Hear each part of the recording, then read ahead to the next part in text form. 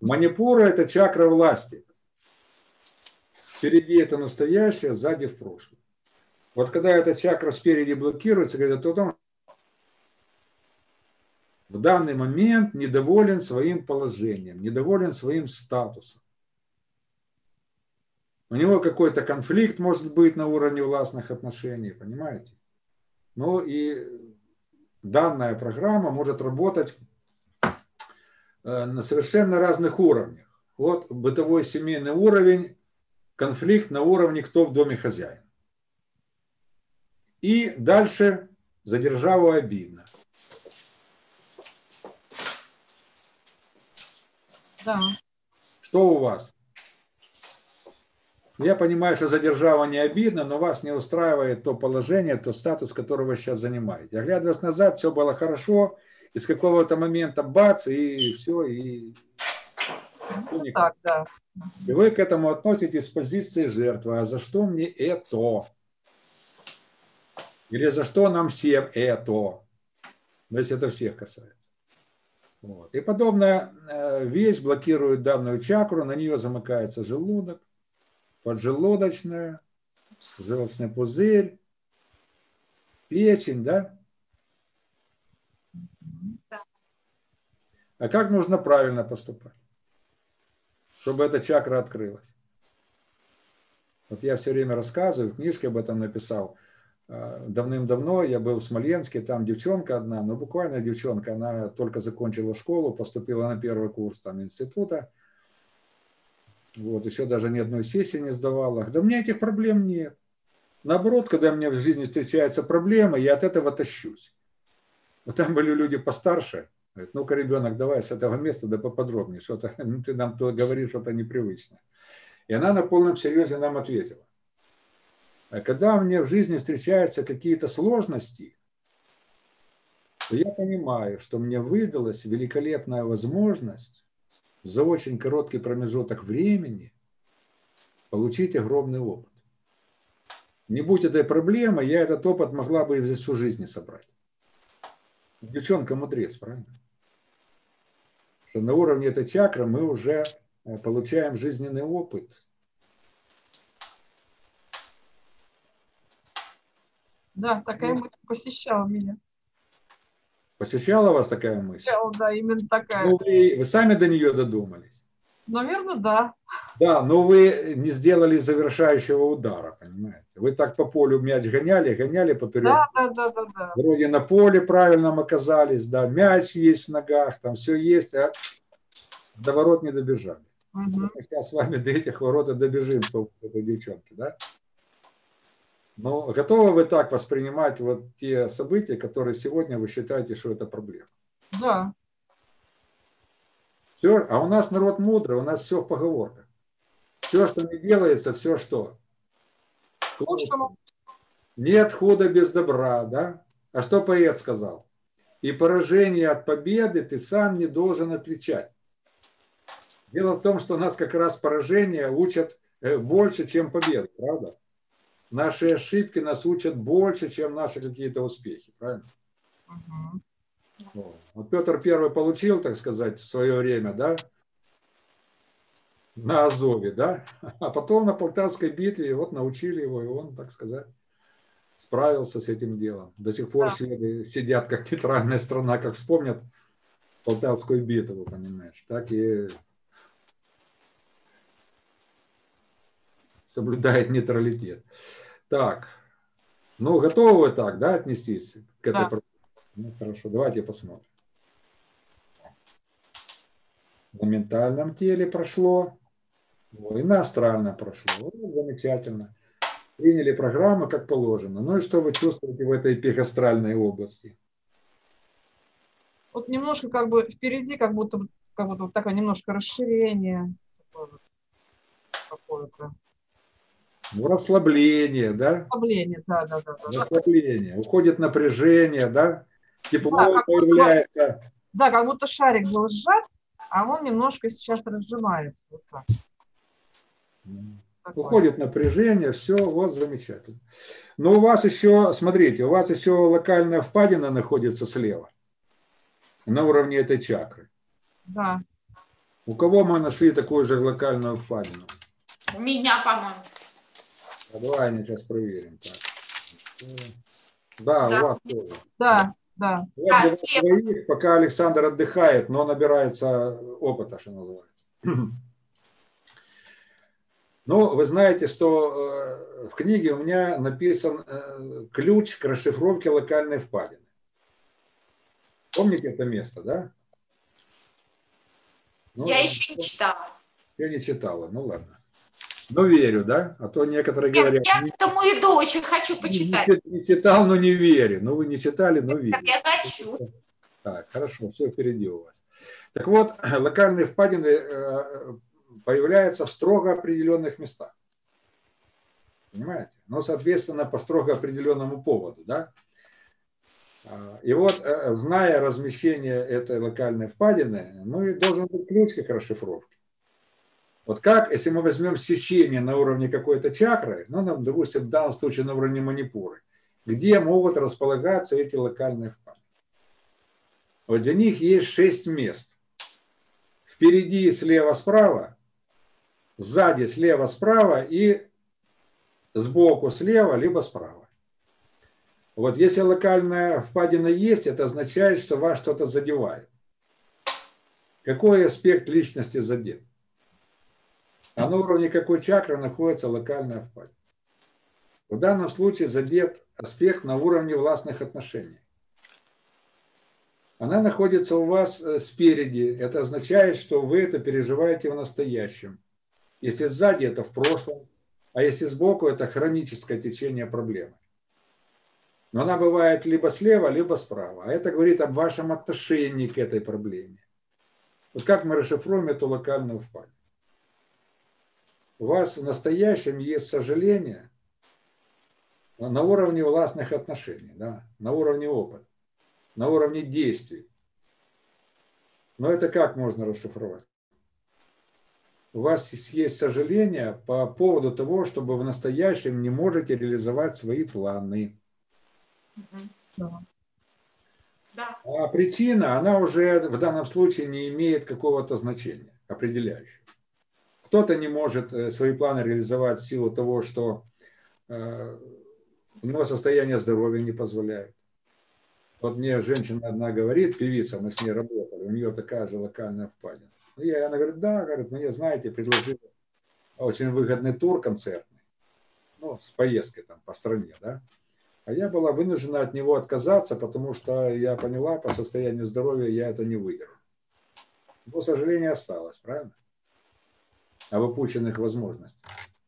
А Кто-то из-за коронавируса не может реализовать свои планы в силу того, что массовые мероприятия сейчас под запретом, да, нет каких-то свободы передвижения и так дальше, и так дальше. Вот. Либо, либо ну, по финансовым соображениям планировал, да, вот сейчас не могу реализовать, потому что вот в финансовом отношении не могу себе это позволить. Но в итоге остается в сухом остатке сожаление о том, что человек не может реализовать свой план. Вот. Есть у вас э, такое состояние? Такое? Да, у меня есть. У меня есть, а у Ани? У меня тоже. Тоже есть. Вот пос- Но чем опасна эта локальная впадина? Она бьет прямо вот в поджелудочную железу в данном случае, Да. точным ударом. Поэтому Я и чувствую. боли могут быть в этой области у вас. Да. Вот. И сейчас эта боль наверняка присутствует, хотя вы про нее мне не задекларировали перед началом нашей работы. Боли нет. У А? меня- У меня нет боли. Ну, вы у нас вообще женщина, которая с чувством боли не знакома. Нет, знакомо, знакомо. Вы, наверное, в молодости в хоккей играли, да, или в регби, а там учат. Не, ну в молодости, да, спортом, конечно, занимался. Ну да, а там учат, что на боль надо не обращать внимания. Можно я спрошу? Да. А у меня иногда и в районе поджелудочной ощущения не очень комфортные. А еще недавно мне поставили холецистит, по-моему, я не очень разбираюсь. Нашли, что у меня, как это, за- загибается желчный пузырь, и там, короче, какие-то пр- проблемы из-за этого в печени там и так далее. Ну, Это может быть то есть причина там как раз она лежит не в том, что загибается желчный пузырь. А жертвенный пузырь загибается, потому что на него действуют силы неравномерные с разных сторон. Ну, вот, да. Понимаете? Да. А у вас э, эти силы есть, это вот эти локальные впадины, до которых мы не дошли еще. Но вот там у вас тотальное смещение поля, я так понимаю, да, в эту сторону. Да, да. Это раз, плюс локальная впадина, все это вместе может привести э, к проблеме с желчным пузырем. Но у вас и проблема может быть поджелудочной железой, вплоть до панкреатита, либо сахарного диабета, потому что вот эта вот локальная впадина, она э, негативно влияет. Ну, ставит вашу поджелудочную железу. Сахар. Я сдавала кровь на сахар, э, сахар повышенный. Ну, Диабет я... не поставили. О чем я вами говорю. Так. Да. Вот видите, а я сколько нашел у вас проблем, а вы их не задекларировали. У вас только одни эти тараканы в голове мешают. Да, но они меня больше всего бесили. Ну, а тут оказывается, что там еще есть на что обратить внимание. Так, как избавиться от этой локальной впадины? Вот. Как поступают люди, э, продвинутые в эзотерическом, э, так сказать, знании, если у них что-то не получается, э, если, но они делают попытки, у них не получается. Как они к этому относятся? Значит, мне туда не надо.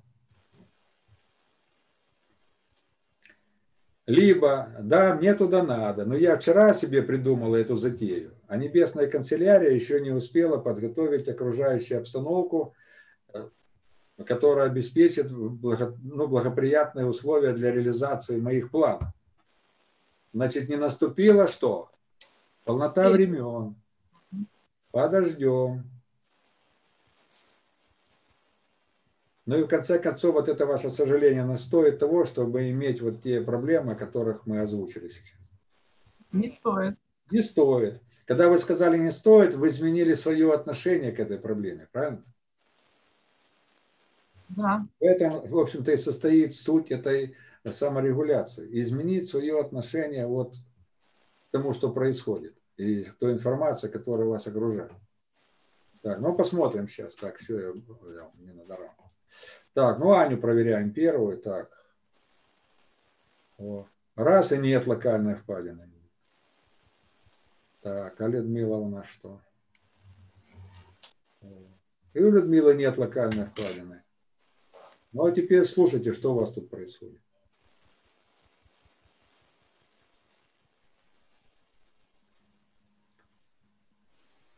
Вы не ждите резких ощущений. Все происходит плавно, уходит напряжение, появляется тепло, чувство комфорта в этой зоне. Вот э, это то, что должно происходить. Ну вот у меня слева как будто все подбирается, как будто было все как-то разбросано, как будто бы, а тут все подбирается. Кучку собираетесь. Да, да, да, да. Ну, это же хорошее ощущение, правда? Да. Так, ну а Аня что нам скажет?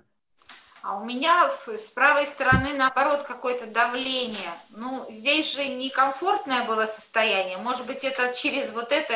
Так, спокойно. У вас, давайте напомните мне. У вас была локальная впадина на уровне э, манипуры слева и спереди. Да. Поэтому я вас и спрашиваю, что вы ощущаете слева и спереди сейчас?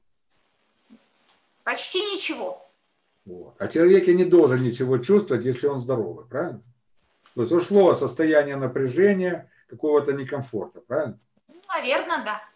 А напомните, где, э, что какие у вас еще локальные впадины мы обнаружили? Так, еще Манипура, э, э, так. Манипура сзади и что-то еще. Подождите. И половая сзади, да? Сейчас я проверю сейчас. Половая слева сзади. А, стоп, стоп, стоп. Сейчас. Мы половую нет. Мы пока на, на уровне манипура сзади сейчас посмотрим. Манипура сзади. Вот. Ну, у вас справа локальная впадина. Вот вы справа и чувствуете этот некомфорт. А. Вот. Ну давайте расшифровывать. Да. Сзади это прошлое. Манипура чакра власти. Справа это обида. Как это все вместе складывается. Что в прошлом кто-то вас унизил, попрал ваше достоинство на уровне властных отношений. Было дело? Вплоть до физического, э, так сказать, насилия. О, и словесно обложил и, так сказать, опустил, да? Еще и руки приложил. Ну да, ребра, два ребра сломали. О, вот вам и вот, а вы это все вспоминаете с обид. Да? Ну, мне никак не забыть, не знаю. Я не сержусь. А я вас не прошу забыть. И вы никогда это не сможете забыть. А это и не нужно делать. Это глупо и неправильно. А вот изменить свое отношение к этому событию, вот это то, что в наших силах и то, что нужно сделать.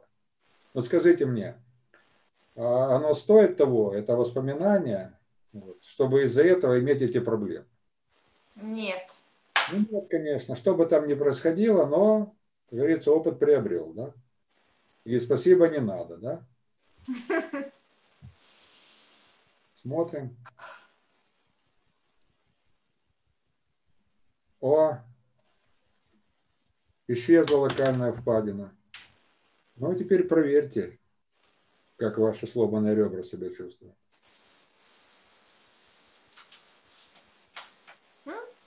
Вообще лучше. Как будто лучше. и не было. Как будто и не было ничего, да? И, между прочим, даже давление вот в печени, вот здесь вот тоже... Ну, конечно, сейчас ваш желчный пузырь развернется, как положено. Наконец-то там он попал в нормальную зону. Ой, спасибо, а то уже два года просто сил нет, прям так надоело. Ну вот, наконец-то, да? Правильно. Ну, пошли дальше. У нас еще есть такой товарищ, который Александр, про которого мы забыли. Но мы про него помним. У него манипура сзади заблокирована чак. Александр, вы меня слышите? И с стороны сзади. Вот. Что это означает? Когда манипура, это, повторяю, чакра власти. В прошлом кто-то что-то меня обидел. Вы, оглядываясь на свою жизнь, это не кто-то вас обидел. Здесь, оглядываясь на свою жизнь, вы считаете, что если бы не, все могло бы быть по-другому. А что не? Один говорит, ты понимаешь, я не тот институт закончил. Сегодня моя профессия не востребована. Надо было идти в керосинку нефти и газа, да, институт имени Губкина. Сейчас бы сидел рядом с Миллером и нефтедоллары считал. И вот, а другой говорит, ты понимаешь, я занимался в молодости борьбой и имел э, солидные успехи. Я даже был включен э, в Олимпийскую сборную Советского Союза по борьбе. Но буквально накануне отъезда на Олимпийские игры я заболел. Не смог туда поехать, а вместо меня поехал мой дублер. Он второй номер, я всегда его на лопатки укладывал, но он вернулся с Олимпийских игр с олимпийской медалью. Да еще с какой? Золотой. Вот не заболей я, эта медаль могла бы быть моей, правильно? И это совсем другая жизнь, правильно? Твое имя вписано в анналы мирового спорта, да? У тебя другие возможности, у тебя другой статус. Вот если бы не. Вот это если бы не, у каждого свое. Да. И у вас такое если бы не тоже есть. Методика корректная, не требует от вас э, интимных подробностей. Это можно просто озвучить, если есть желание. Но на предмет набора статистики и убедительных примеров, как это работает. Понимаете? А теперь э, скажите мне, вы готовы посмотреть на вашу прошлую жизнь, как на вашу индивидуальную божественную школу? Да, я готов посмотреть как на божественную школу. Потому что вы понимаете, на этой чакре, на этом уровне, на этом аспекте мы уже приобретаем опыт жизненный. А жизненный опыт, он же похож на сбор грибов в лесу. А грибы в лесу по прямой линии не растут, правда? И когда мы по лесу там поползали, попетляли, насобирали полное там ведро или корзину грибов, мы же не сожалеем о том, э, что мы там петляли, а грибы не росли на одной прямой. Такова жизнь, правильно? Грибника. А почему мы считаем, что в жизни у нас все должно быть вот так вот? И вот, э, ну, на эту тему много можно рассказывать, вот, но тем не менее, я хочу вас спросить, вы готовы посмотреть на вашу прошлую жизнь, как на вашу индивидуальную божественную школу? Да, я готов посмотреть как на божественную индивидуальную Так можно было для вас, вот, вы приобрели тот самый... фибрами души. Да. Ну вот смотрите, вот ваша манипура, смотрите, сзади заработала. Ну, а сейчас проверяем позвоночник, как он у нас там. Угу. Ну, нормальная гибкость позвоночника, да? Да. О, Хорошо. Отлично.